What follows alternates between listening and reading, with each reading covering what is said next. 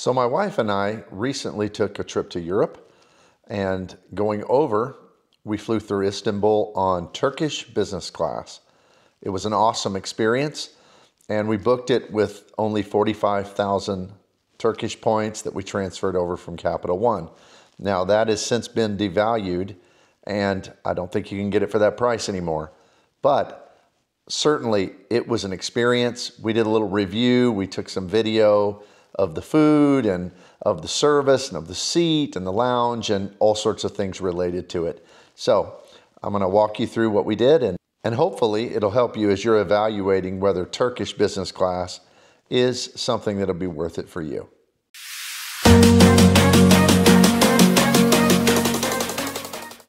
So we started off in the lounge at JFK, and it certainly wasn't much to write home about. Uh, it's small. It really doesn't do justice to what you think of when it comes to a business class lounge. In fact, in the middle of our trip in Istanbul, we got to go into the Turkish lounge, business class lounge in Istanbul, which people have said it's one of the best lounges in the world, and it certainly is impressive. And if it's not the biggest lounge in the world, it's got to be up there in the top five or 10. It's just gigantic. But as we got to JFK, of course, proceeded to check in. It was super simple. You do have to go to the counter if you're going to check into Turkish business class out of the United States. Couldn't get the app to work to get mobile boarding passes. So went to the counter. It was super easy. Proceeded through security, made our way to the lounge. It was really early in the morning. They had a kind of a decent spread of, of breakfast foods, but as I said, it, really wasn't anything overly impressive. Hey, everybody. Just enjoying a little bit of time before our flight on Turkish Air. And great coffee in the lounge here. The boarding process went pretty well. They don't have quite as defined of a system as like American, United, and Delta do. And so everybody was kind of just kind of milling around, especially those people that were in economy class on the opposite side of where we were standing. But then they called us. I think we were the maybe the first or second couple to board the plane. We got into our seats. We were in row two, and so we were the second set of seats on the left hand side of the plane looking towards the front. And man, the seats on Turkish business class are absolutely gigantic.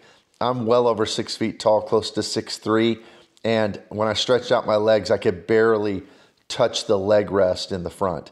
It's not the most luxurious business class we've ever been on, but it is one of the largest I've ever seen. So even though it's a little older model, this airplane was an A330 300, which is certainly not Turkish's kind of most premier business class product, but still, the seat was super comfortable, lots and lots of room, especially for a big guy like me, and we were pretty impressed. The seat had lots of storage and, you know, plenty of places to put things. It was still a little bit awkward in some places, not quite as intuitive as some other business class products, but we very much had enough room to put all of our things. There's a footwell at the bottom where you can place your backpack, and that's what I did. It kind of gets it out of your way. So when you get ready to extend your bed down, it's you know, very comfortable and, and nothing kind of encroaching on your space. The entertainment system on the A330 Turkish business class, it's, it's adequate. I mean, it's certainly not the best entertainment system I've ever seen, but it had a decent selection of movies and television shows, and we enjoyed it when we weren't focusing on the food, which is coming up, and that's the very best part of it all. Then we enjoyed it, and it was a it was it was a fine entertainment system. The only thing that really was negative is because of the way the seats are designed, that screen is really far from you. So, I mean, it's just kind of a weird deal because even though it's a large screen, it's quite a distance away. These are two amenity kits we got to pick from. They delivered it to us instead of having it on the seat when we walked in. I chose red and Terry chose navy blue. Let's see what's inside.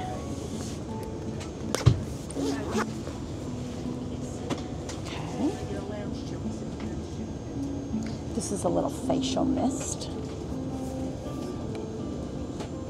little lip balm. Oh, nice. I appreciate this. It's a hair tie. It's the first time I've ever seen one of these in an amenity kit. It gives you a little instruction. Of course, body lotion. That's very helpful too. This is a cool add-on. Trusty little toothbrush with a cover. It's nice. And then of course, we have our glasses. It's nice and big. And then some nice warm socks. All in this very nice kind of leather bag. I like it. Now, the best part of Turkish business class, and this is pretty much well known in the Points and Miles community, is the food. They have a chef on board. Ours was a, a nice young lady, and she came by in her chef uniform with her chef cap on. We even took a photo with her, and we just had a, a tremendous time with that. So, the food, it comes out in multiple courses. It's absolutely exceptional. Um, we got a full menu with multiple choices. They even have a cart that they bring around periodically with snacks. We enjoyed both a dinner and a breakfast. Let's go over the menu real quick. It's pretty extensive. Definitely comes in three different languages. And then up at the top, it gives you some options. When we first got on, we thought these were just going to be options that we could pick from. But as we found out, it all came. So that was kind of exciting. And then these are the main breakfast options after this little thing of entrees. You can get an omelet or some pancakes and then definitely some different breads. Then before landing, it has some different things that you can get. Mozzarella and tomatoes, Caesar salad, just for snack. Then it goes in for your dinner. You have the red snapper, grilled chicken breast, or rigatoni with parmesan. And then it'll also have some different desserts. So, so far, Turkish Airlines and the food is excellent. And I'll tell you, we've been on several other business class products, and the food on Turkish, it really, even though others are quite good most of the time, and I know some who review all of the time can be you know, more critical of some than others. Pretty much for me, any business class is a pretty awesome experience. But when it comes to the food on Turkish, none of the others that we've been on at least compare. The service was outstanding on the A330 business class from Turkish Airlines. I mean, they were attentive. Anything you asked, if you ring the call bell, they're right there. They're walking through the cabin all the time. I never saw them like just chit chatting. I mean, maybe a little bit, but not ignoring passengers and their needs. You really feel like you've got the premier experience. And they're always there to bring you something else to drink or to get you a snack or answer a question, make up your bed if you want that done. And so I, I would say that the, the service just can't be beat. Now, I have not been on some of the what they say is the best of the best. We're hoping to get on Qatar's Q Suites in the future with their great service or Singapore or Etihad or, or Emirates. We haven't done those yet, although hopefully that's coming. But as far as the ones that we've flown, this service cannot be beat. Other service can be good as well, but this was just exceptional service from the crew.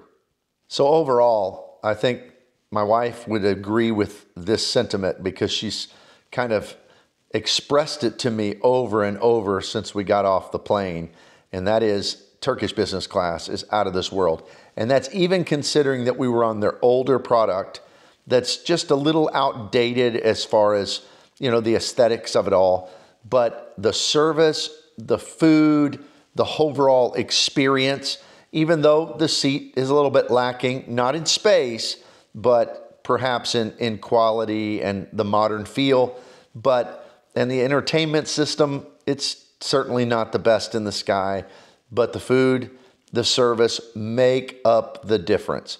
So, what am I going to say about Turkish? I will fly them anytime, any day. It is an experience out of this world. Give it a try. I think you'll like it. Don't forget to hit the like button and subscribe.